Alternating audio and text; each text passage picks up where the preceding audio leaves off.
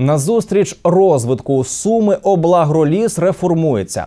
Відтепер звітують працівники, взаємодія із дочірніми підприємствами стане більш скоординованою, чого кажуть не було за останні 16 років.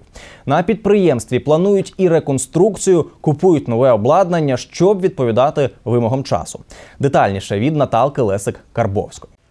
Не тільки постачальники сировини, а й виробники продукції. У Суми облагролісі, який опікується третиною лісів області, говорять про реформування підприємства. Постанова Кабміну про заборону вивозу круглого лісу кажуть, там стимул для розвитку переробки деревини. Мы заинтересованы продавать туда же готовую продукцию. Это, по крайней мере, может быть просто э, пиленный материал. Ну, а на будущее это может быть, конечно, и э, уже там производство или паркета, или мебели, там, или э, товаров народного потребления. Вот это наша главная задача.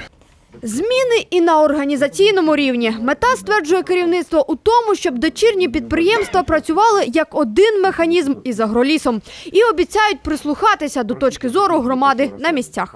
Внесемо зміни в статут і буде працювати система більш злагоджена, прозоро та дієво. Було реалізовано е, лісопродукції на 41 мільйон гривень без ПДВ, що на 5 мільйонів 500 тисяч гривень більше, ніж у минулому році.